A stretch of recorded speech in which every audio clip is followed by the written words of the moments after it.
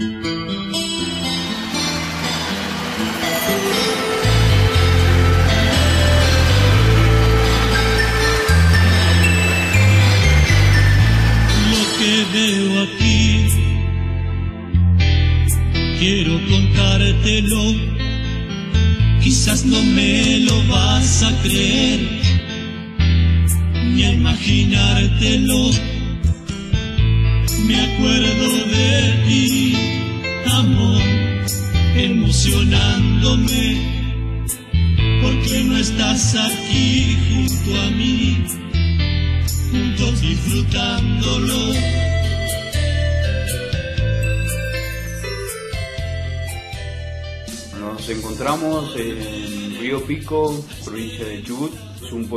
está en la cordillera.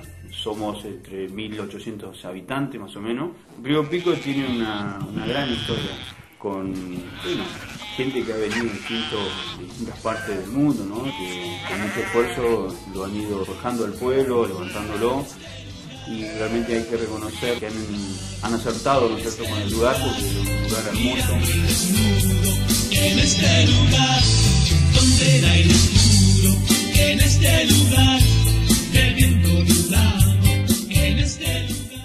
Hay, pocas mujeres que hacen lo que ella ha hecho. Lo que yo he hecho no lo hace nadie. Pues yo tenía que arar, tenía que tirar leña, tenía que hacer todo, todo, todo. Cuidar, mi tío me dijo, aquí te dejo 400 ovejas, dice, tienes que cuidar. Tenía 16 años. De 6 años yo ya andaba a caballo en para todos estos lados. Los tíos eran cazadores de fieras. Si no tiraba un tiro me pegaba una chicoteada. Yo era armera de todo, bolsas de balas. Ella ha cazado leones, todo. Casado, si yo acá, acá, con Haitao vine a hacer lo mismo. Porque acá vine a ayudarle a hacer todo al hombre que estaba, todo, todo de campo. Y criar bichos, corderos, de todo, y los dos hijos. Esta casa debe tener, a ver, 50, 60, 70 años. 70 años, porque estoy mirando que tiene terciado de Winter. Y Eso la era la- madera los que trabajaban en el 20 hacían estas maderas. Y la madera de afuera es hecha a hacha. Y la madera, eh, esos, esos palos son hechos a, a hacha. Hacha, a la hacha. hacha. El Callao de los bandoleros no lo conocí. El cañadón, no. Estuvieron los bandoleros. ¿Puede ser donde lo mataron? Sí, donde lo Sí, mataron. sí, ahí Ah, sí. ¿fuiste La, ahí? la de piedra, sí. Ah, ajá. Sí, sí, conozco. Lo mataron porque ellos tenían unos presos. Tenían al final a Lucio Otero y el peón lo tenían preso. No tenían Se escaparon del Y allá, fueron enterrados de pero no se sabe, che. ¿Sabes que yo tengo otra versión de que ¿Qué? están enterrados acá donde... donde Mira ahí al lado de la casa de, de Carneria hay dos sepulturas. Ahí dice que están. Ahí yo digo que si no están ahí. No, porque allá lo reconocieron, dice, lo fueron a reconocer y hicieron todo donde van. Y hallaron este... Pero allá hay dos. Acá a hay tres y acá hay dos. No, no. Ah, pues. No, yo tengo entendido que ahí lo reconocieron con testigos, porque está el acta hasta que reconocieron los cuerpos ahí. Y ahí nomás lo enterraron. ¿Existe el acta, sí? Sí, Ah, sí. mira, no sabía. Yo era Ah, mi abuelo alemán vino Mayer. antes de la Segunda Guerra Mundial. sí. Después de Bueno, eh, acá todas, la mayoría de las poblaciones son todas este, extranjeras. Sí, sí, la mayoría. Alemania, Alemania, Alemania.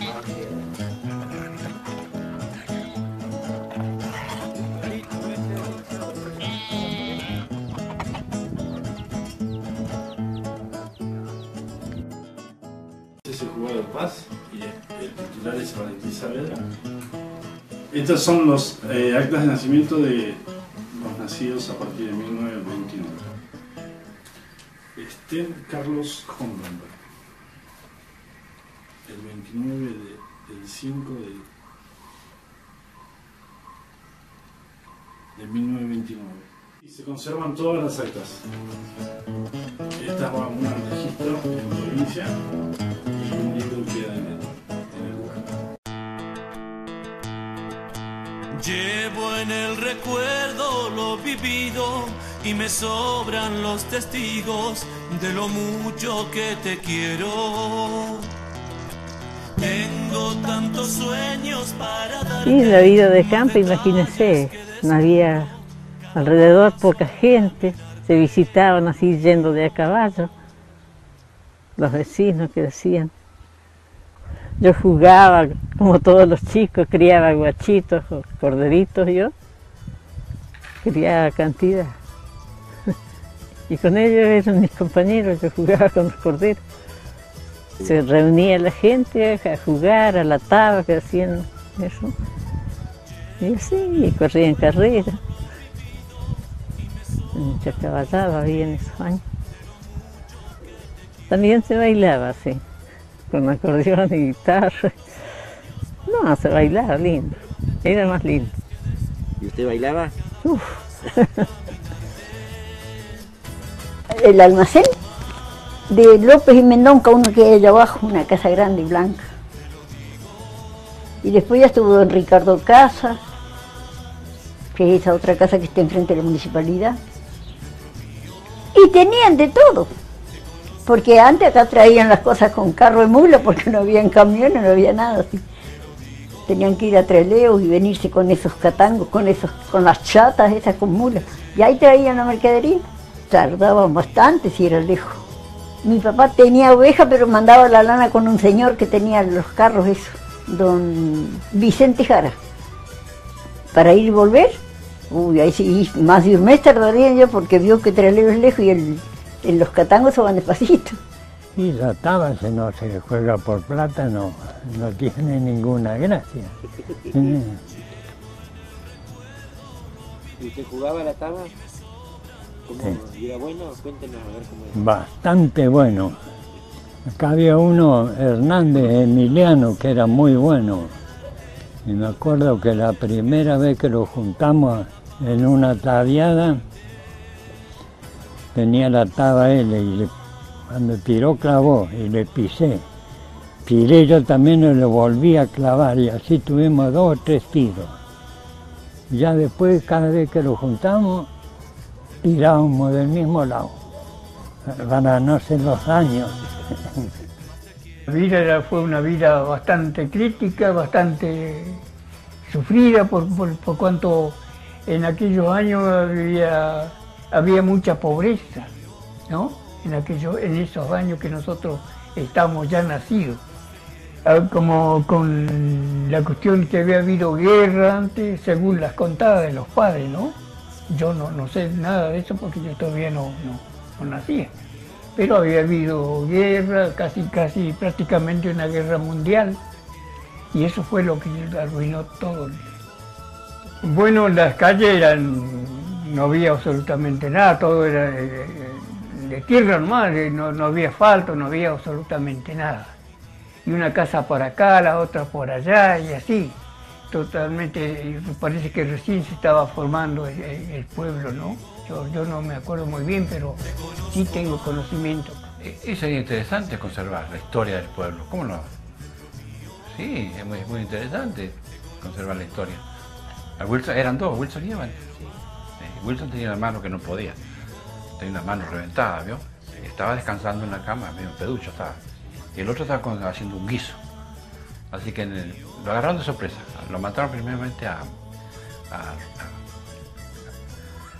¿cómo se llama? Evan, ¿no es cierto? Y Wilson que estaba ahí cuando sintió, se levantó como un rayo, el tipo agarró la pistola y alcanzó a matar a uno de ellos. Pegó un tiro en el pecho y al otro la mano. Y, después se suicidó, él mismo se mató. No es, no es verdad que lo mataron, se suicidó solo. Al verse perdido, se suicidó. Y en esos años no éramos nosotros los muchachos, ¿viste? eran los viejos. Agarraban los viejos y decía capaz que salían en la tarde y le ocurría, decía, iban, vamos a verlo a fulano de tal, vamos a verlo a fulano de tal, bueno, a juntar toda la familia. Esa noche nomás se armaba un bailoteo de esos de aquellos, ¿viste? Con bastante asadito y por supuesto, ¿viste? Siempre existía el, el tragonín, ¿viste? No, no era ni. Bueno, mira, yo que me recuerde, en, los bailes, por ejemplo, cuando se empezaron a hacer en el club, viste que en esos tiempos no habían aparatos para amplificar la música. Así que sabían haber acordeones, bandoneones, guitarra, cantar nunca, ¿viste? Porque ¿qué vas a cantar cuando... Bueno, después, con el correr de los años, nosotros en el año 1000, en el 70, formamos un conjunto acá, ¿viste? Bueno, ya, ya conseguimos cosas, amplificadores y esas cosas, bueno, regenteamos nosotros un montón de años la zona esta. Se llamó Agrupación Libre el conjunto. casi de vivía con los Solices eran vecinos. Tal es así que en esa velada, cuando viene, le hacen un agasajo a, a la hija de Ventura Solís bailó con, con, con Cassidy y la mujer de, de, de Cassidy bailó con el gobernador Lesana. Así que y ahí hicieron después la primera entrega de títulos a de campo. 30 y- los primeros 32 pobladores de Cholila recibieron 700 hectáreas. Se llamó la ley del hogar esa. Las primeras tierras que extendieron, entre ellos le dieron tierra a mi abuelo y a Ventura Solís, que era su hermano, y, y entre ellos los. Claro, claro. Era, eran gente, claro, con Wilson Niegan, era gente hábil. Pero la intención de ellos era hacerle escribir una carta a, a Ramos Otero pidiéndole rescate a la madre, porque fue, en definitiva fue el primer secuestro extorsivo de Sudamérica. Lo tuvieron ahí Otero, lo iban a ver y lo presionaban. El Otero se escapó. Dice que todos los días le iban a dejar de comer y este empezó a juntar grasa de la comida y según dicen, ¿no? Con la grasa do- dos palos, lo, lo, lo, lo flotaba, lo flotaba y con la grasa por ahí prendió fuego. Y con una chamulla hizo fuego y con eso rompió una soga porque estaba atado con soga el calabozo. Cortó una soga y ahí corrieron los palos y se dispararon la gran puta. Y bueno, después ya lo, lo sacan y se, se va. Y entonces hace un movimiento grande y, y viene, entonces viene la fronteriza. Entonces se Ah. vinieron, vinieron a, a malonearlo a esto, Claro, sí, sí. a los americanos. Entonces lo empezaron a perseguir.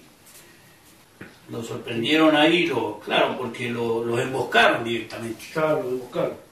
Ellos estaban este, descansando, tal es así que uno disparó con una bota. Estaba con una sola bota. Sí, se ve que Se alcanzó a poner una bota. se alcanzó a poner una bota o estaba descalzándose cuando lo sorprendieron y bueno, ahí los liquidaron, los mataron. Trasladan los cuerpos a, al boliche de Ramos General que tenían los ANA aquí, En la cascada. en la cascada.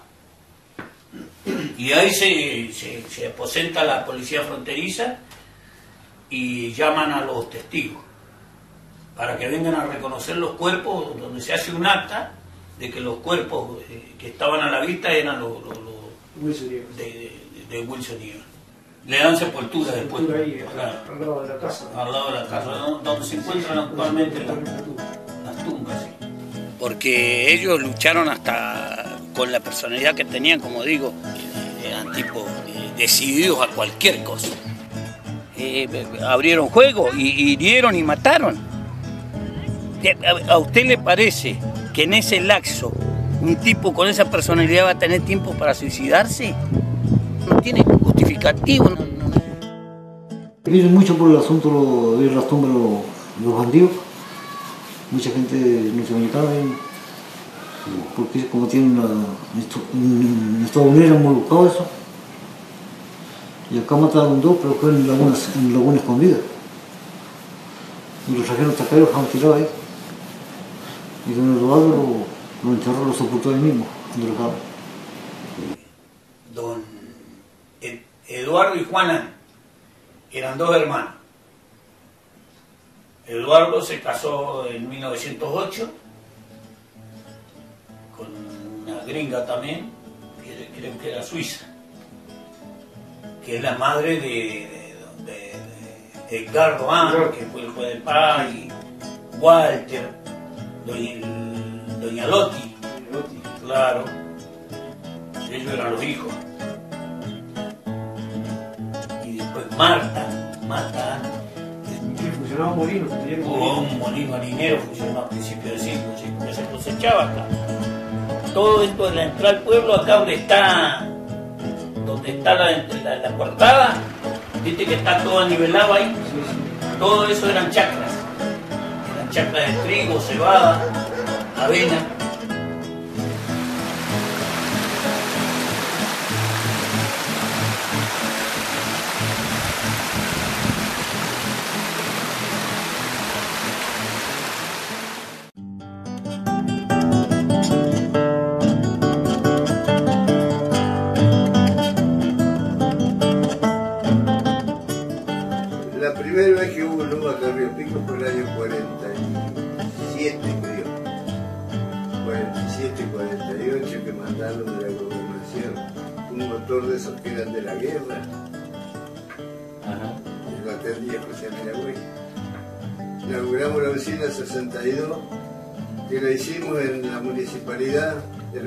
De 4x4. Ahí teníamos el motor de la luz y de ahí generábamos para el pueblo. O sea, equipo chico.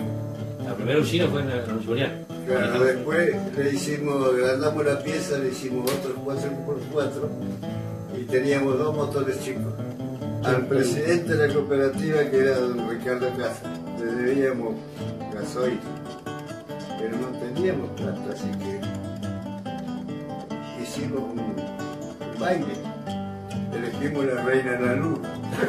no sabíamos algo, había que inventar. Yo hacía las presentaciones, este era el presidente del club. Este, Franco González. Claro. Acá es cuando yo tocaba en la orquesta, tocaba las maracas. en esos años se daba, no sé si te acordás vos, desde las 7 de la tarde, no, de la tarde, cuando oscurecía, de las 5, las 6, según. La época. Claro, la época. En verano a las 7, la más tarde que se prendía, hasta las 12. Los sábados a veces hasta las 1. Cuando había baile, hasta las 4 o 5 de la mañana. Claro. Sí, eso más o menos me acuerdo yo. Mi madre, mis tres hermanas y yo. Uh, acá está mi abuelo, el padre, papá, Mafini. Fue el primer maquinista. Y a los años vino la empresa Starovinsky y hizo toda la línea nueva del pueblo hasta la turbina. Que se inauguró el internado, día se inauguró el turbina. Para colmo no nos habían dado un curso, un curso completo sobre la turbina, nada. Nos dijeron, mira, se pone en marcha así, así. Nos largaron crudo. El primer día no sabíamos dónde estábamos parados. Y la turbina, o sea, la hidroeléctrica daba para, para el pueblo solo, si no. Sí, la turbina sobraba, sí.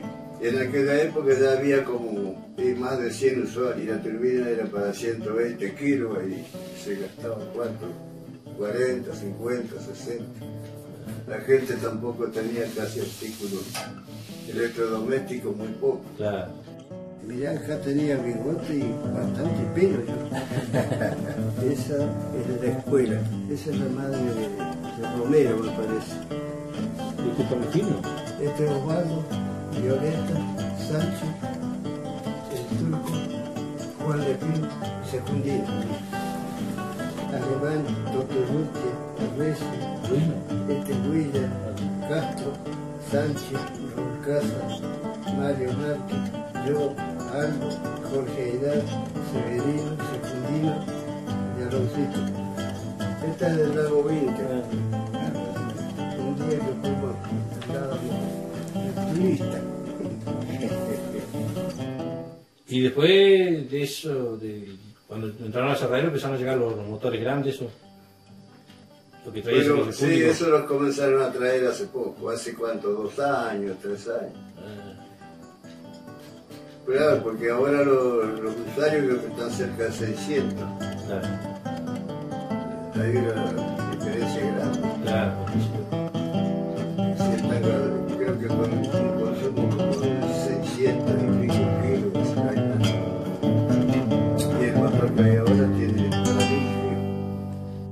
bueno, acá están el tema de los talleres culturales, que son becas que vienen de provincia para artesanía, cerámica, música, danza, distintas actividades y después bueno, actos, eh, actos patrios, aniversario del pueblo, eh, actividades eh, ferias americanas, ferias artesanales, eh, eventos para niños. Y se participa también con las distintas entidades, hospitales, escuelas, todas las entidades eh, del pueblo eh, que trabajan de forma mancomunada.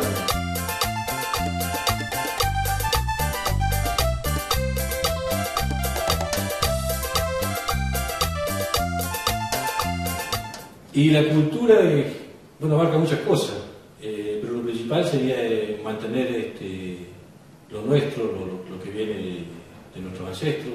Todas las, las actividades están referidas a cultura, todo, sea deporte, música, baile, todo eh, abarca esta cultura. Así que para mí la cultura sería mantener viva la- las, eh, las costumbres de la, de la localidad. Eso sería para mí tener eh, la cultura de, de Río Pico. Y a los jóvenes diría que se interesen por su, por su antepasado, que, que lo, lo recuerden, que lo mantengan, que no se olviden que sus viejos fueron los que se esforzaron, o sus abuelos, tatarabuelos se esforzaron para que hoy esté Pico acá en este lugar. ¿no? Entonces pedirle a ellos que se, involucren más con la cultura de nuestra localidad.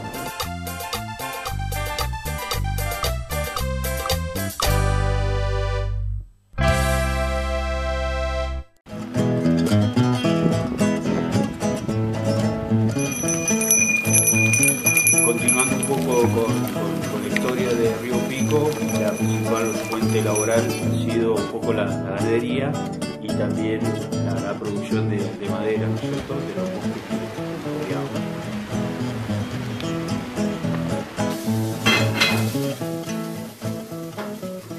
solamente una foto que he visto de usted apoyando un camión cargado de leña. Tengo historia para cantar.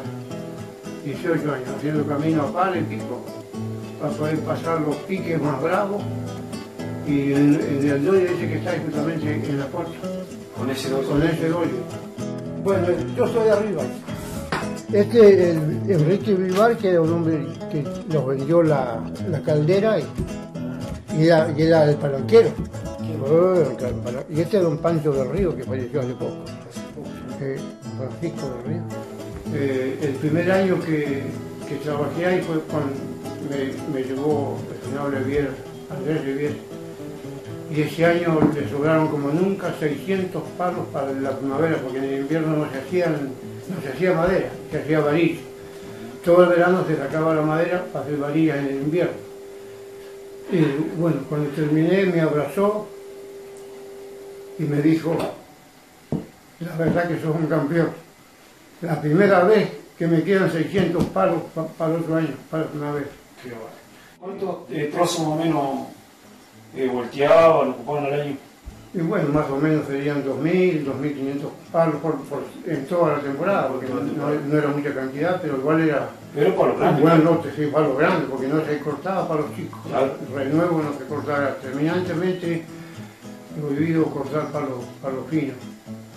O sea que en un momento en el lago Inter eh, prácticamente habían dos aserraderos. Dos, el de dos, y el de claro. Melimoso. Claro, porque primero se, se empezó a hacer la madera para construcción en, en la fábrica. Y después ya cuando se organizaron, ya pusieron la, todas la- las piletas y eso, ya empezó el, el terciado. el terciado. Que se hacía, habían dos turnos. Hasta los turnos había mujeres y hombres trabajando. El único aserradero en América que decía terciado de, El único que me- sí, sí. terciado de Lenca. De uno de los, según después decían que era uno el tercero mejor de Sudamérica.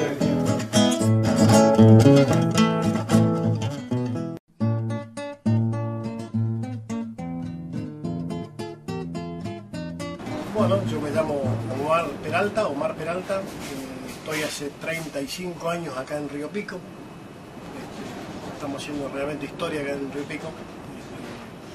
Ya los aserraderos, antiguamente Río Pico vivía de, la madera.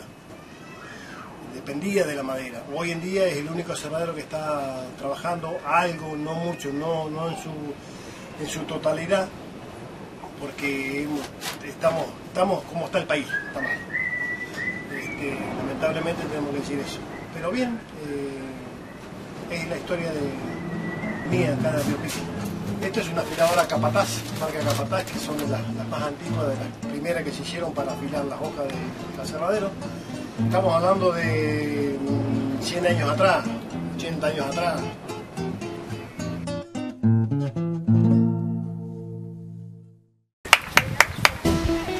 Hola, ¿cómo andan? Hola tía. Bien, bien. Acá andamos visitándola. Pasá, pasá. Y ahí me crié yo. A los cinco años yo, mamá me mandó a la escuela, porque ya, ya estaba la escuela vieja, la, la que está al fondo. Y, ahí vivía Ve- Vera y la señora. El maestro Vera. El maestro Isaías Vera y la señora Juana de la Fuente de Vera. ¿Y Vera qué fue el primer maestro? Eh, el primer maestro de acá de Río Pico que tengo conocimiento yo fue él. ¿Invierno cómo eran ahí? ¿El invierno era Los inviernos, eterno? feo, feo. Los inviernos se había, había que andar en la nieve nomás. Si allá en el campo tapaba los alambres. Claro. Yo escuché un verso una vez en la radio, en radio Esquel, que le había hecho, creo que era el maestro Vera, que se llamaba Maestro que frío hace. Y él Ah. recordaba cuando llegaban los alumnos a la escuela, a la mañana, de a caballo, que bajaban del monte, con mucha nieve, mucho hielo, todos los chicos en vez de decir buen día, eh, decían Maestro que frío hace, y se fregaban las manos, decían de frío, de entumido los alumnos cuando llegaban a la escuela. Sí. Así Hacía mucho frío. Él había puesto estufas de hierro en los salones. Yo me acuerdo que cuando yo ya era más grandecita, más grande, este, llegaba temprano a la escuela yo, ya era más grande. Y lo primero que hacía fuego en la estufa. Para que vengan los otros chicos ya estaba. Calentito. Sí. Siempre llegaba temprano, sí. Yo nací, me crié en Río Pico y estoy orgullosa de mi pueblo. Acá estoy todavía. No lo cambio por nada.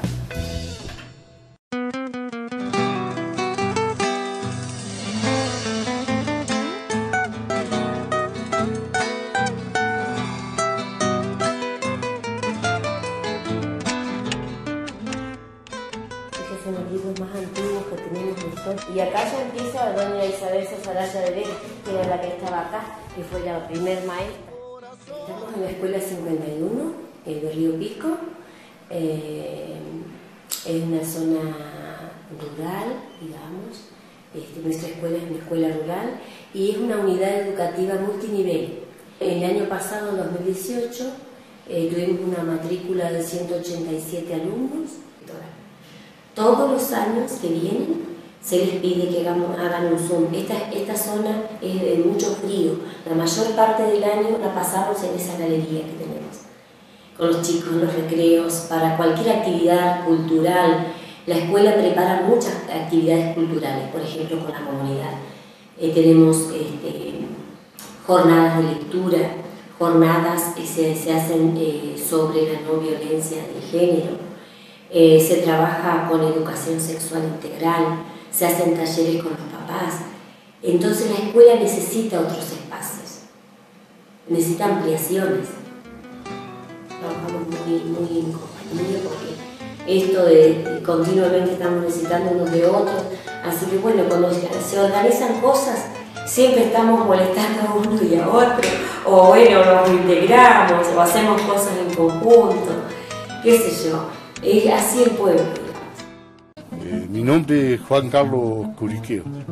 Es uno de los almace- almacenes actuales eh, más viejos de la familia Alonso y bueno, eh, mirá, estas fotos son eh, fotos antiguas. Acá esa foto este, es un arreo que pasaba por el pueblo. Esto acá donde se ve que han ganado un trofeo.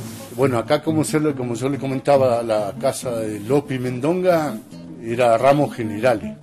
Ellos copiaban lana, todo eso. Lo mismo que la casa eh, de casa. y el primer surtidor que existió acá en Río Pico.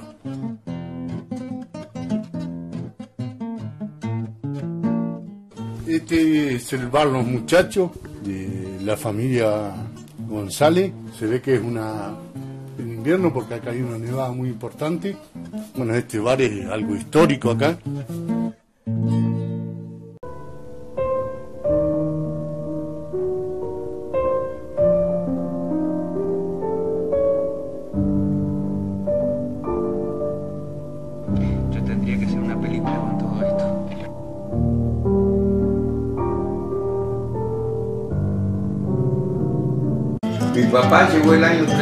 37 acá y en unos galpones allá abajo puso un bar, galpón de Don Guillermo.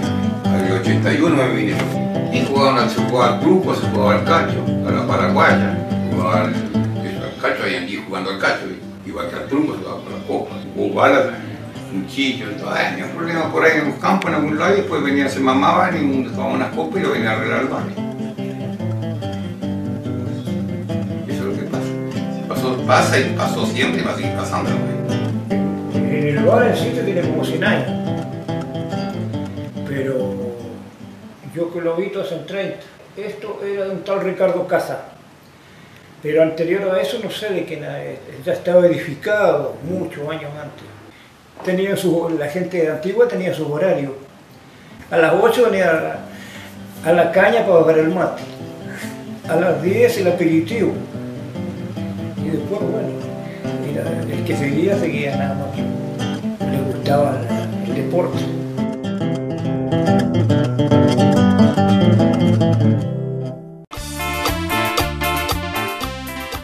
Nuestra emisora, nuestra radio, se remonta ya por el año 91, cuando este, llega a Río Pico el padre Antonio Ronchi, y lo que más nosotros hoy apuntamos y lo que más este, creería que necesita la gente que está más alejada del pueblo es el mensaje al poblador, es el aviso comunitario y para eso está este, el servicio que brinda nuestra radio.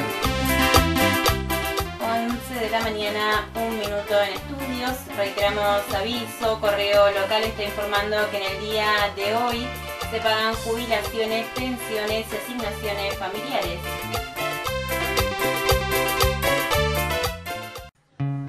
Yo en esa época ya, ya andaban mis tíos, ya en esa época, en la década del 60, ya ellos andaban armando grupos, ¿viste? Aldo, que era el bar, Nato Carrasco, y Teófilo, que era mi tío, ya tocaban el acordeón, la guitarra, y, y después ellos, ellos armaron un grupo, el primer grupo que armaron se llamaba Los Cinco del Río, ha sido años 64, 65, después se armaron Los Guidos, que ya Los Guidos estaba, bueno, De Fuentealba, Mario González, Aldo, Jorgito Minagüel, Nato, Carrasco. Este, y luego ya, ya se pusieron agrupación libre, que fue más o menos años 69-70. Ahí empecé yo porque Mario González, que era el baterista, se fue a hacer la colimba, entonces yo creo que tenía 12 años, por ahí me entré para tocar la batería. Y después, bueno, mi tío Nato se fue a Trelew y ahí yo ya empecé a tocar el bajo y a cantar con mi tío Guido y se rearmó de vuelta el grupo, agrupación libre. Y una anécdota muy linda es que nosotros para, en esa época, para, sacarla, para sacar los temas, nosotros los sacábamos de la radio los temas. Porque el cassette ya no existía. Acá al menos no llegaba. Y los discos llegaban muy tarde. Entonces nosotros escuchábamos radio chilena, radio minería, radio cooperativa, agricultura. Esas eran las radios que acá se escuchaba muy bien la radio chilena en la noche. Y tenían música muy buena, música moderna. Y acá en la radio de Buenos Aires casi no, se- no- no llegaban. Y yo acá, Mario en su casa, Aldo en el bar, decíamos, mira, está el tema, está bueno. Lo escuchábamos todo y me memorizábamos la, la- la- la- melodía y enseguida teníamos una virome preparada, ¿viste? un papel y tratábamos de copiar un pedazo de letra. Y después lo juntábamos y bueno, y ahí debatíamos. A mí me parece que acá dice así, este tono es así, y así armábamos los temas. Se hacían los bailes en lugares como el bar, como los de casa, que eran salones chicos. Es un grupo de, de gente este, que incluso incluye la placa de los socios fundadores. Ahí está el nombre de toda la gente, de la mayoría de la gente que, que trabajó para armar esa estructura. No olvidemos que esa estructura la armaron hace 50 años. Se hizo ese club con el aporte y el trabajo de los pobladores. Ahí no hubo subsidio, no hubo aporte del Estado, nada. Lo hizo la gente, los viejos pobladores. Uno hicieron la madera, otro hicieron los ladrillos, los otros juntaron la piedra. Hicieron un, que para esa época era un salón, en, los primeros años era piso de madera, techo de, de, y vas a ver cuatro palos al costado del, club, los dos laterales, tiene cuatro palos de cada lado, cuatro columnas. Pero eso antes tenía un fierro clavado, porque ahí se colgaban las lámparas de Petromás para bailar. Para la luz, colgaban las lámparas de Petromás, las- esas a bomba, las que no sé, este, las colgaban en esos palos y bueno, con eso se iluminaba y se bailaba. Bueno, nos encontramos en el Club Social y Deportivo Pico, edificio histórico, si los hay acá para el pueblo.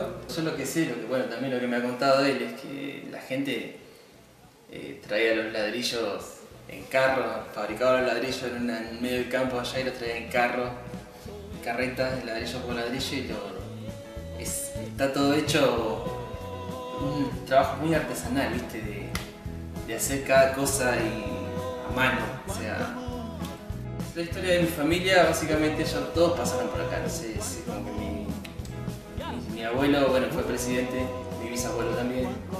eh, mi viejo siempre estuvo metido, digamos, en las comisiones y, y todo eso. Y bueno, qué mejor que yo esté adentro ahora para ver si puedo seguir con esa con ese sentido de, de pertenecer, ¿no? De pertenecer a esto y llevarlo adelante con muchísimo amor, como siempre.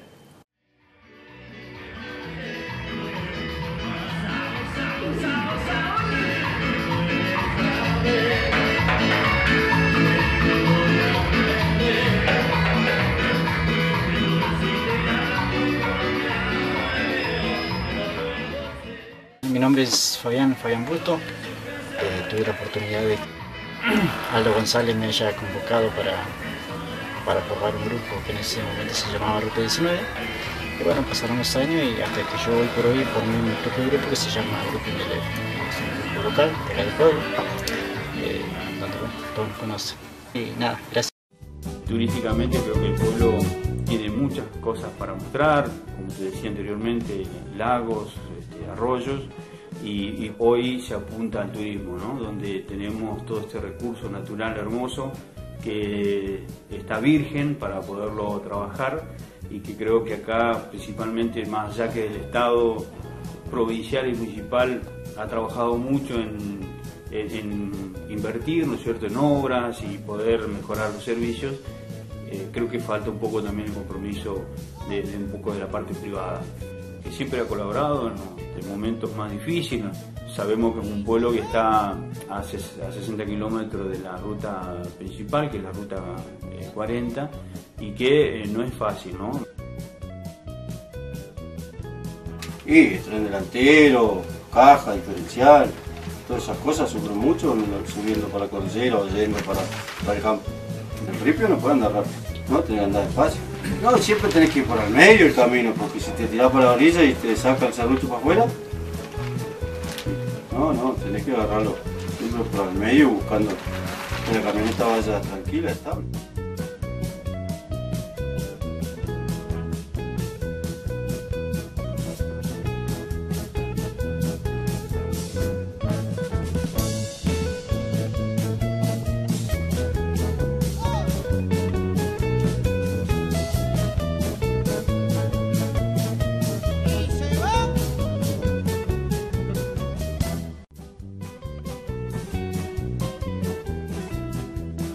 Hola Jorge, ¿qué tal? Hola. Milagro, ¿cómo andás? Este, queríamos hablar un poquito de, de qué es este lugar bonito que, como dice su nombre, ¿no? Primero hay que contarnos un poquito. Bueno, este es un emprendimiento familiar, eh, por eso es el nombre de piscicultura rural familiar. Y mm, como somos descendientes de originario, es el nombre que tiene. Si bien Chimenay, que es una palabra tehuelche, eh, significa eh, hay que lugar y chimen lindo, bonito. Es a raíz de que cuando empezamos con esto, en el 2002, mucha gente llegaba y decía, qué lindo lugar, qué bonito. Empezamos con Arcoiris, la dirección de pesca de la provincia de Esquel, nos dio 500 alevines.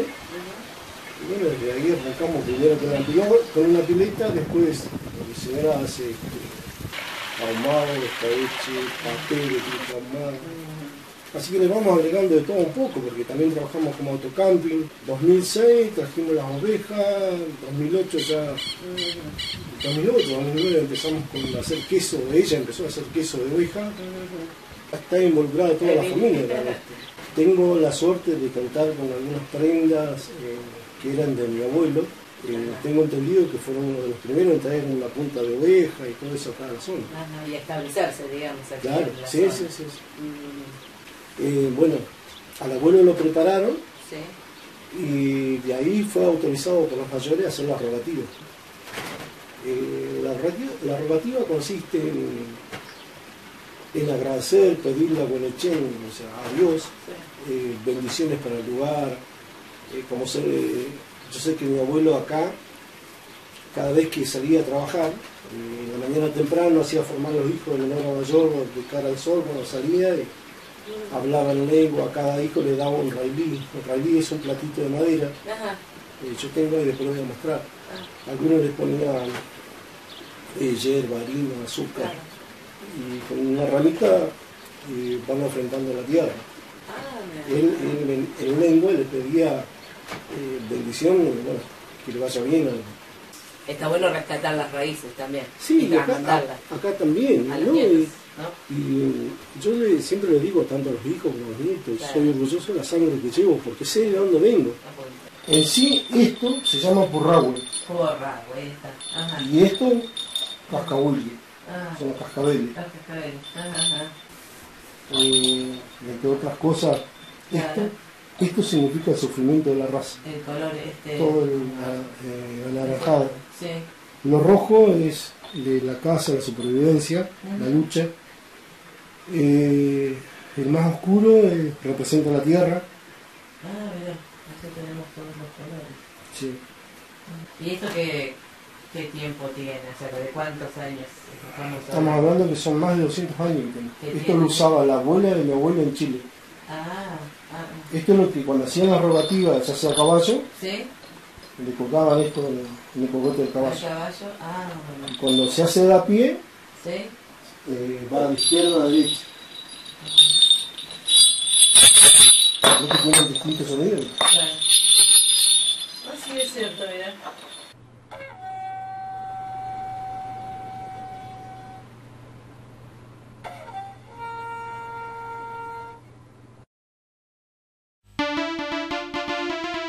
Desde la Secretaría de Turismo pensamos que el turismo es, por sobre todas las cosas, el cuidado de nuestros recursos naturales. El turismo es recibir gente, tratarlos bien, amables, darles las mayores comodidades que podemos, mostrarles nuestro lugar, ¿verdad? Estar orgullosos de nuestro lugar y pedirles que cuiden nuestros recursos así como lo hacemos nosotros. Le ofrecemos ¿no? nuestra naturaleza, nuestros ríos y nuestra cordialidad. Pueden disfrutar de los alojamientos que hay, tanto en el centro urbano como en los lagos.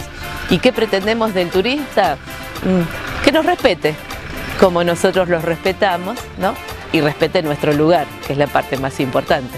Si sos pescador, eh, toma conciencia y realiza la desinfección sobre del alga, ¿verdad? Para que evitar que esta se desparrame por todos lo- los, los- nuestros ríos. Si vas al lago, traete la basura, ¿no? Estar atentos a no prender los fuegos en cualquier lugar y por favor apagarlos antes de irse. Y pienso que eso es lo que queremos transmitir, que entre todos nos cuidemos, ¿sí? Y como bien dice nuestro cartelito allá del ingreso del pueblo es, no te pedimos que limpies el pueblo, simplemente que lo cuides. Hola, buen día. Hola, ¿Cómo buen día. andas? ¿Qué tal? Bien. Sí, ¿qué puedo ayudar? Eh, mira, es la primera vez que vengo a Río Pico y quisiera saber qué ofrece Río Pico. Bueno, vas a comentar. Río Pico cuenta con una variedad, una variedad de lagos, distintos lagos. eh, los que son más marcados en sí son el lago 1 y el lago 3. Y tenemos eh, esta belleza que la llamamos el lago Winter, que es inmensa y la que más buscan los pescadores. A su vez tenemos al lado el lago Palena. Es lo que le podemos ofrecer. ¿Usted viene a pescar? Sí. Ah, bueno, si usted va a realizar pesca, tiene que desinfectar sus equipos, que es lo que lo realizamos nosotros acá desde el turismo. Y no sé si tiene permiso de pesca. No, todavía no se puede. Ah, bueno, el permiso de pesca también lo vendemos acá, así que lo tendría que realizar lancha. No, lancha no trae. Ah, bueno, porque si tú trajera lancha tendría que desinfectarla igual. Eh, le ofrezco un mapita donde trae todos los kilómetros, las distancias, todo. Y a su vez le ofrezco los distintos alojamientos. Ah. ¿Eh? Cualquier duda o consulta puede acercarse a nosotros o si no, acá tiene el número de teléfono donde se puede comunicar con nosotros. Bueno, ¿Eh? Muchas Muchísimas gracias. Lindo. Acá somos Guardapesca, cuidamos lo que es el recurso natural del pueblo. Eh, cada lugar, cada ambiente tiene su reglamento. ¿sí? El lago número 3, por ejemplo, que es el lago más pesquero que tenemos, el, el mejor lago del río Pico, eh, es monje de evolución obligatoria. ¿sí? Si nosotros encontramos a alguien pescando con spinning, secuestramos las cañas, hacemos un acta y se manda a la ciudad de Kel, que es donde tenemos. Y la verdad que ahora está la gente eh, muy concientizada, más eh, la gente del pueblo se ha hecho un trabajo bastante bueno. Y si no lo cuidamos, la pesca se va, se va terminando. Es más, hace yo eh, comentarios, eh, hace años atrás se sacaban truchas hasta de en el lago 3 de 8 kilos, 9 kilos, eh, semejantes truchas. Y hoy en día tenemos un promedio de 3 kilos, más o menos. Ha bajado mucho. Y, para que no siga bajando la genética, digamos, del ambiente, hay que, hay que cuidar. Y bueno, no a la mina tampoco, porque acá eh, nos llegan a meter en la minería y nos van a hacer mierda. Acá no, eh, hay muchos ríos y todos los ríos se, se juntan en uno en un momento. Y eso se contamina uno y se contamina todo. Explotan los cerros, te los dejan chatos, no te dejan nada. Eh, Por eso la minería acá no, no puede llegar. Hay que buscar la vuelta de otro lado, pero la minería no. Trabajo es un pequeño momento y después eh, los que quedamos viviendo en la zona somos nosotros. Ellos se van y se van con todo lo, que tenían y lo que tenemos.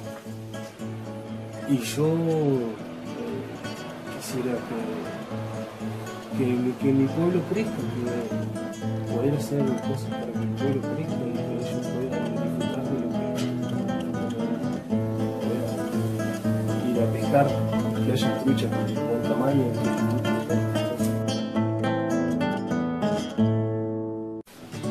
Tuve unas- unos refugios ahí en, la boca del Michi que todavía está la.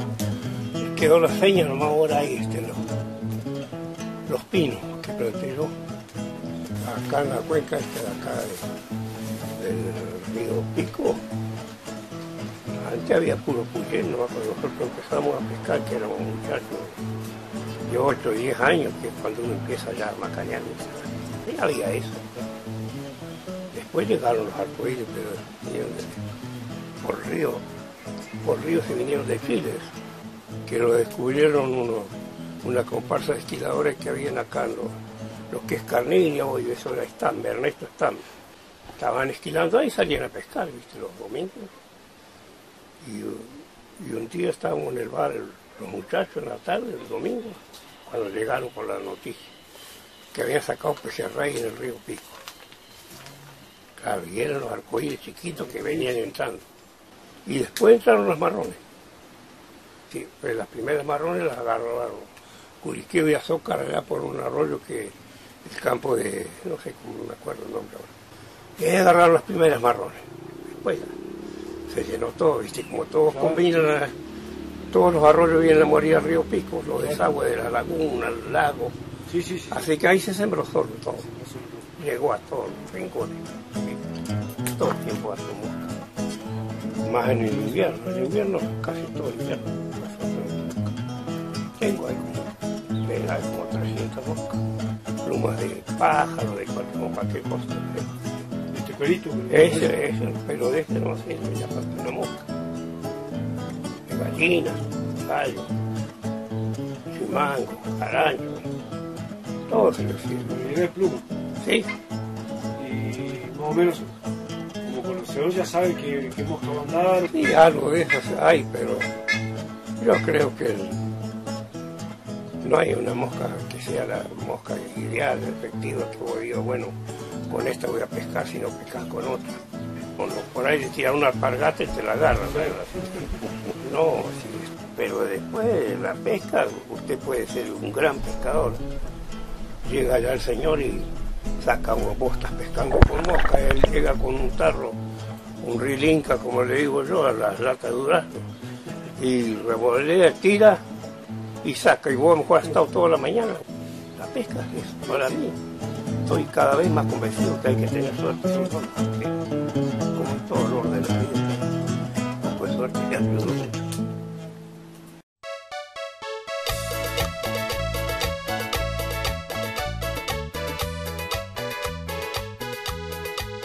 Estamos acá en el lago 3, en el camping municipal Arcoiris. Hay un total de 5 cabañas, disponibilidad desde 3 personas hasta, hasta 7. Y después camping, eh, con baños, duchas, la leña. Bueno, la mayor parte de gente que viene son pescadores. Sí, sí, se pesca bastante bien. La mayoría de los pescadores, yo converso con todos, después que salen del lago, pasan así acá a conversar y ahí les pregunto cómo está la pesca para después poder informarle a otros pescadores. Pero sí, se pesca bastante bien. Es uno de los lagos que más, que más se pesca.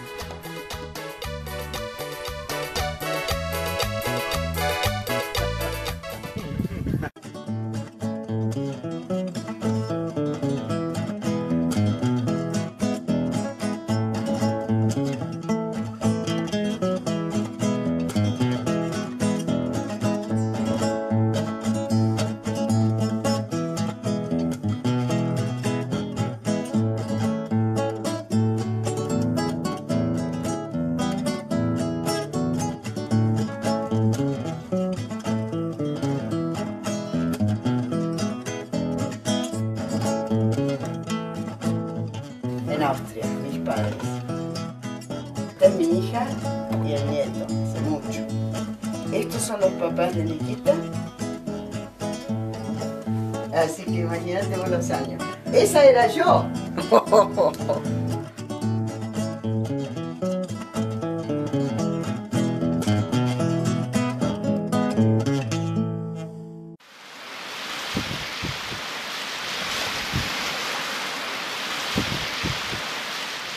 Eh, Lo que hace Acción Social es tener un nexo más directo con trámites, por ahí con las personas que no tienen, que no acceden a, rápido por trámites ANSES, entonces nosotros este, formularios, eh, trámites que, la gente puede hacer. Después el trabajo básico de- que tenemos en, en asistencia, como el plan calor, por ejemplo, allá en el invierno poder abastecer a las familias con reparto de leña.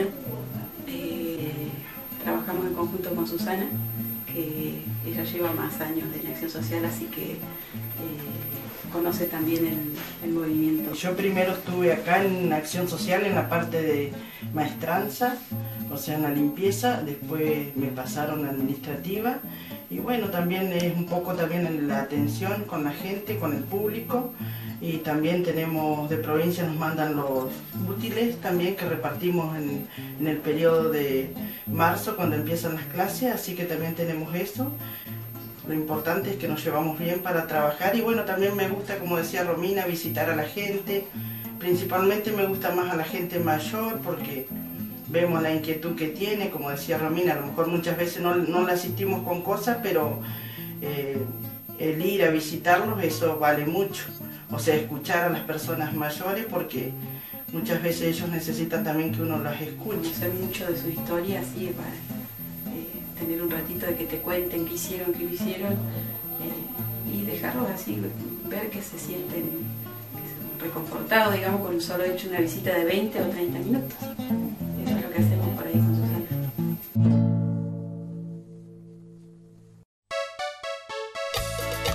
Y el hospital más o menos eh, tiene entre 50 y 60 años por suerte, por, el desempeño de sus trabajadores, ha obtenido un- una buena mantención y, y la mayoría de la gente que viene piensa que es un hospital nuevo. Y el número de prestaciones que solemos tener o la, cantidad de pacientes que suelen pasar por el hospital, hay meses como los, los meses de invierno, primavera, más de mil pacientes vemos. ¿Cómo era tu trabajo antes, Pedro? ¿Qué hacías así antes, antes, cuando recién empezaste? Y cuando recién empecé, esto era todo, toda leña, ¿viste? Toda leña. Toda leña, así que había que trabajar en leña, había que trabajar, era toda fuerza de pulmones, eh, había estufa, de todo, fogones, había que atender todo eso y era todo. Había que entrar a las 6 de la mañana, sacar toda la ceniza en condiciones, ya a las 8, 7 de la mañana con la estufa.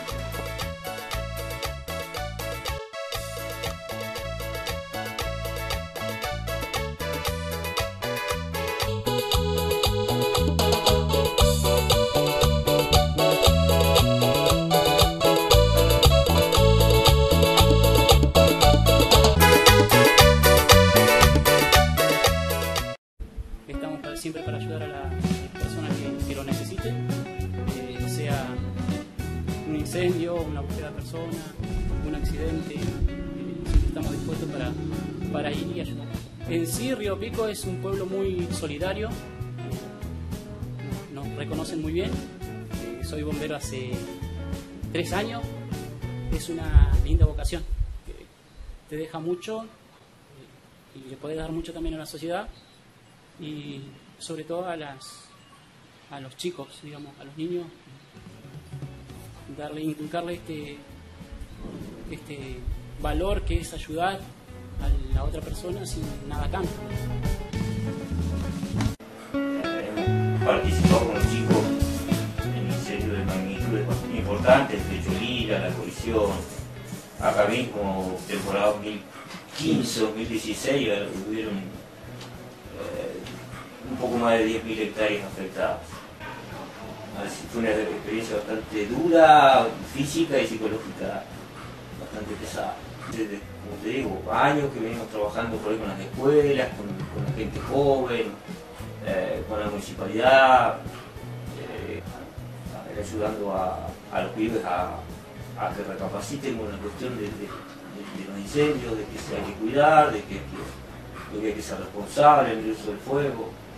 Así que bueno, en el fondo, digamos, creo que más allá de algún que otro bache, tenemos bastante, eh, la tarea bastante bien hecha, creo yo. Sí, sí, sí. Desde el 2015, cuando se nos tapó el pueblo en, en humo, eh, desde ese momento que, la sociedad, el pueblo de Río Pico vio y, sufrió, porque era salir afuera y respirar humo únicamente, eh, creo que ahí fue como cambiando la mentalidad y fue otra, otra vista para, para lo que es el servicio en general, creía yo, y, y para lo que es la naturaleza que nos rodea, que es bellísimo lo que tenemos acá y la, cantidad que hay de, de todo. Todo se va a ver afectado si vamos poquito a poquito quemando de uno, dos, tres árboles. Lindo camión, muy estable. Aparte de ser 4x4, podemos entrar en lugares que, son inaccesibles con camioneta.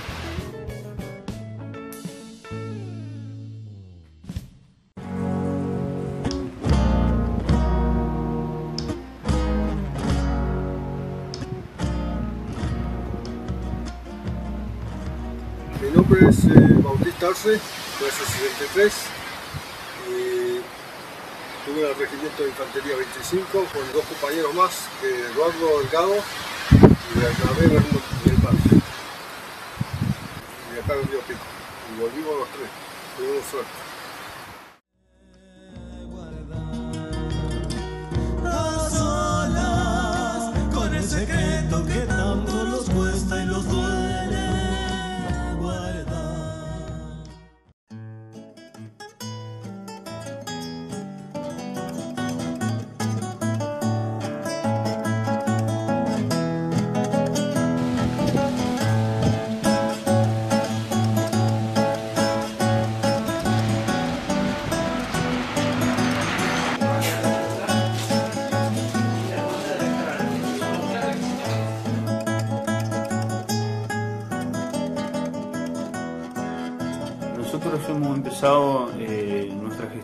Allá por el año 2011, eh, donde bueno, este, eh, empezó, es un periodo de cuatro años, donde bueno, hemos realmente trabajado mucho, ¿no es cierto? Y gracias también al acompañamiento un poco de, de la gente, de las instituciones locales, este, que, que han colaborado mucho y también hemos tenido mucho, mucho apoyo y acompañamiento del gobierno nacional y provincial, donde, bueno, este, principalmente en, el gobierno de, Néstor Kirchner y, Cristina Fernández de Kirchner, hemos logrado cosas importantes para nuestra localidad, este, eh, como, como un barrio, ¿no cierto?, de 38 viviendas, este, el asfalto, ¿no cierto?, de la ruta 19 que lleva hasta nuestra localidad.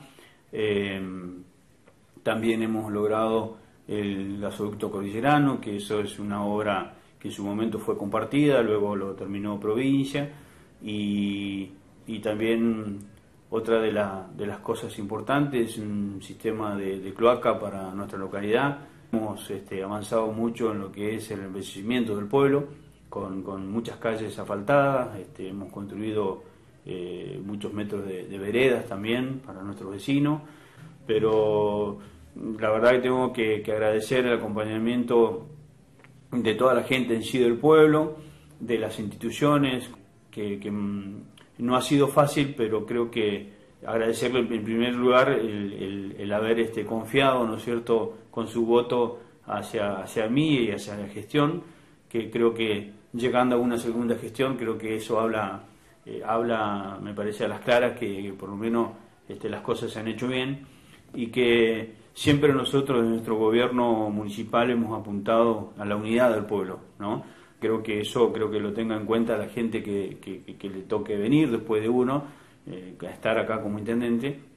Sería importante que lo continúe y que busque la unidad, ¿no es cierto?, de nuestro pueblo, porque es fundamental. Este, creo que es, un pueblo unido logra muchas cosas, ¿no? Entonces, creo que hay que apuntar a esto hoy y para el futuro como como lo venimos diciendo, ¿no es cierto?, año a año. Yo realmente me siento comprometido con mi pueblo, mm, es un compromiso que asumimos del 2011 hacia acá y lo vamos a seguir haciendo de acá para adelante, ¿no es cierto?, de donde, de donde toque estar, ¿no? Principalmente los objetivos han sido cumplidos, este, de, de propuesta que hicimos ya en 2011 para acá, la mayoría se han cumplido, y creo que para mí una satisfacción y creo que de aquello que no pudimos cumplir este, o que no, eh, no, no, no, ¿cómo es? No pudimos realizar en realidad porque somos seres humanos, nos podemos equivocar y este, pedir disculpas nada más a, a, mi pueblo si realmente por ahí no, no pudimos cumplir hasta acá eh, algunos objetivos, ¿no? que son algunas cuestiones importantes, pero por ahí eh, creo que esto eh, hace a, que, eh, no depende solamente de mí muchas veces, depende también un poco de, la gente y de la gente que tienen cargos también de que, como es que no lo han, no han acompañado muchas veces, ¿no es cierto?, algunas cuestiones que son importantes para nuestra localidad. La situación nacional también cambió, o sea, hoy no contamos con un gobierno del color político, sino bien también se han hecho gestiones, pero sabemos que, que cuesta mucho más, ¿no?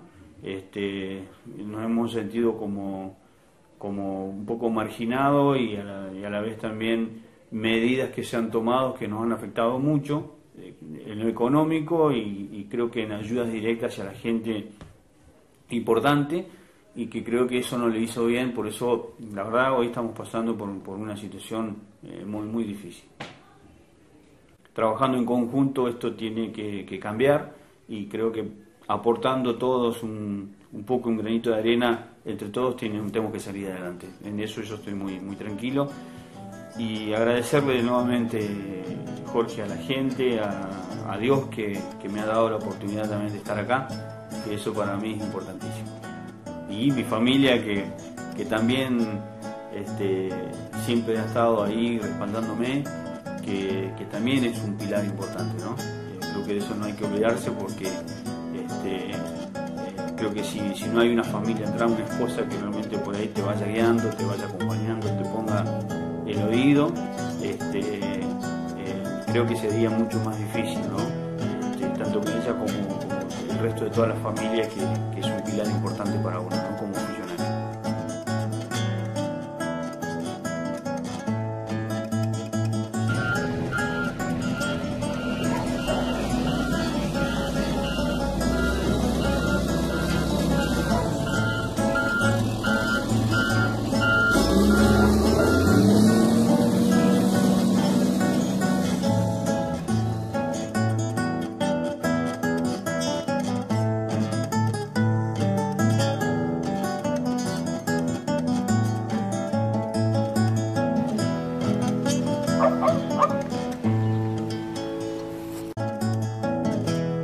Bueno, vamos a hacer 17 kilómetros por unos hermosos lugares. No le tenemos que ganar a nadie, vamos todos juntos, disfrutemos el lugar. Este río Pico que se animó.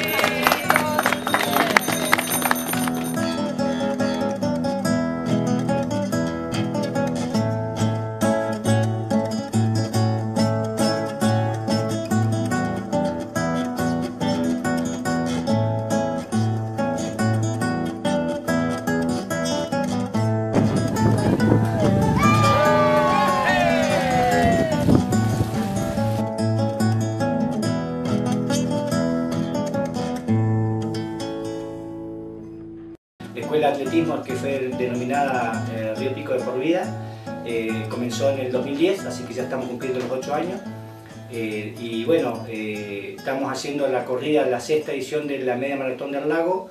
La idea es tratar de inculcar siempre la actividad deportiva, la participación, el disfrute de lo que es el atletismo. Eh, hemos eh, participado con los chicos de- de- del atletismo ya en muy buenas carreras, por ejemplo en, bueno, en Trelew, que fue eh, una de las primeras, que se hizo un cross en la Laguna Chiquichano.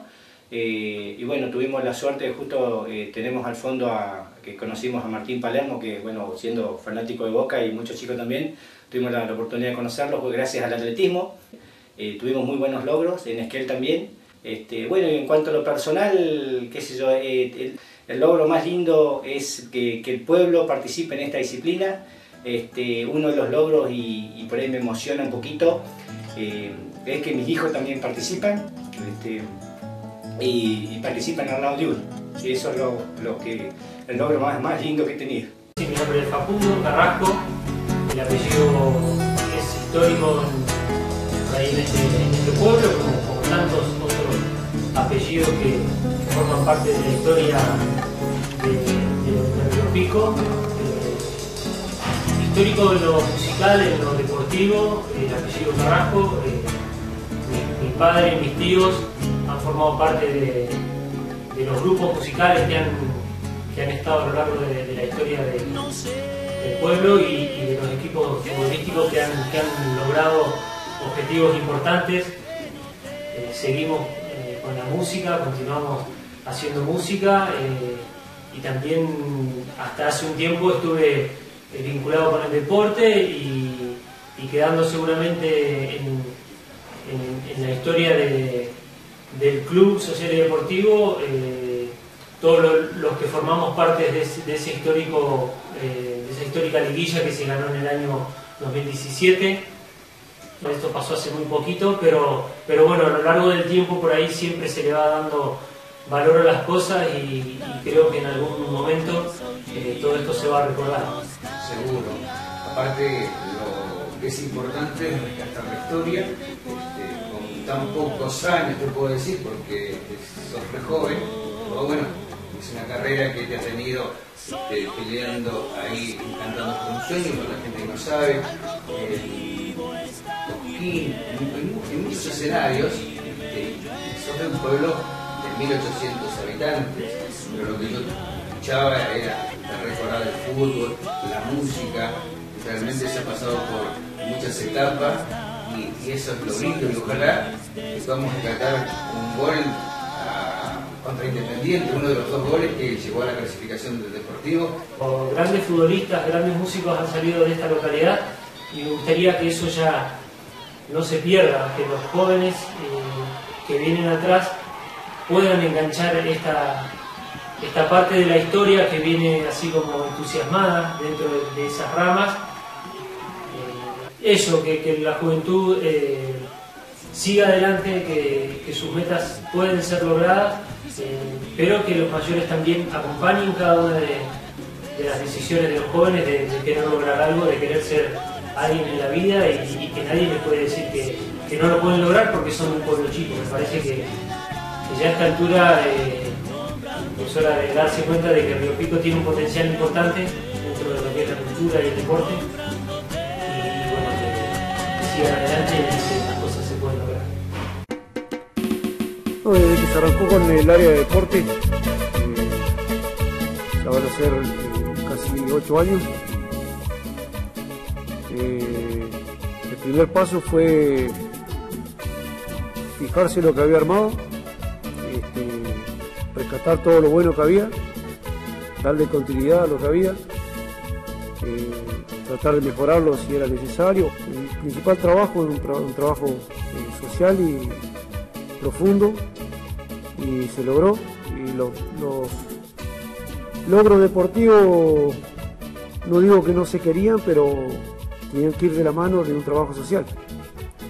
Y cuando hacía un trabajo social profundo, los logros deportivos llegan solos. Bueno, lo- nosotros le vamos a contar lo que Las experiencias que te- vivimos, hemos vivido en el gimnasio. la experiencia que hemos vivido eh, gracias al deporte. Ah, sí. Bueno, eh, yo comencé a venir al gimnasio cuando tenía 13 años, más o menos.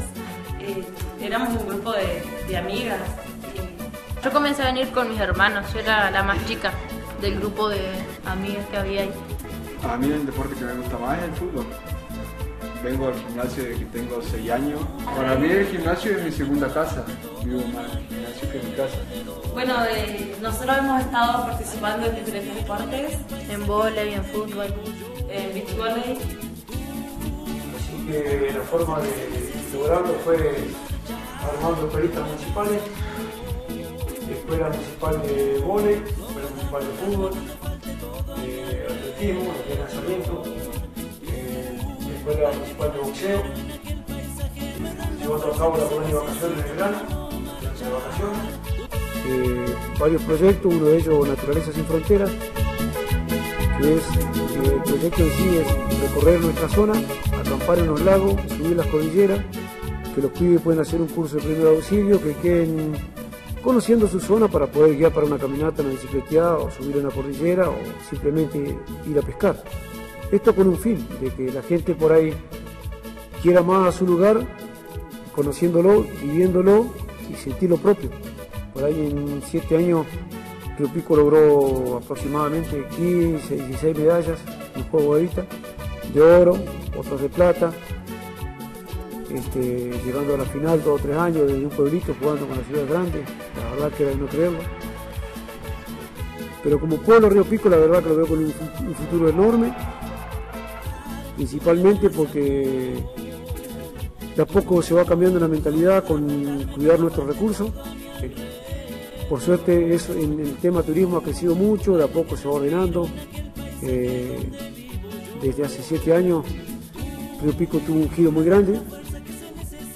Pasó y hoy eh, todo puede ser distinto, es, todo es distinto, porque te cambió el 100% en algunas cosas lo que es el gas, y ni hablar del asfalto, y las cosas que se vienen, porque si vos tenés gas y asfalto, te animás a invertir, porque tenés dos cosas que son lo principal. Y vos mirás y observás a veces, y la verdad que no sé el número exacto, pero ponerle que hayan 300 camas, capaz que estoy diciendo un número menor, y a veces anda gente y turista buscando lugar y no hay lugar. Y en los lagos tampoco encontró lugar. Entonces vos decís, ¿qué pasa? ¿Qué pasa si hace 20 años habían 20 y por ahí estaban vacíos y se llenaban una vez al año? Y la calidad que tienen, porque la verdad que las conozco y tienen una calidad espectacular, todo con gas, con tele, buenos muebles, bien puesto, que buen trae, si no esto es un lujo. Y por suerte tampoco se, se han vuelto locos con los, con los precios, precios muy accesible, acorde a, a la realidad y a la gente que viene. Creo que tenemos que estar mentalizados y convencidos de que Río Pico tiene que ser elegido. Río Pico tiene que ser el pueblo elegido. Creo que mentalizándose así, teniendo en cuenta eso y levantándote todos los días y convencido de caminarlo, de, de hacer todos los días algo para que mejore. Y de ahí van a hacer proyectos, van a hacer un montón de cosas para poder que, tu pueblo sea elegido. En realidad no, no cambiaría mi pueblo por otro. ¿Qué con Río Pico? Yo elijo pueblo. Mil veces me quedo con Río Pico, que lo tienen que valorar más. Tienen que cuidarlo. Y conocerlo más. Tú me das la fuerza que se necesita para no marchar. Tú me das amor.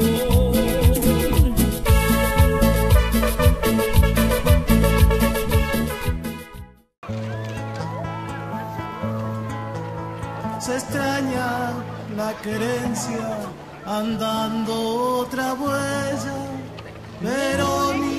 fiel estrella me conduce a mi lugar.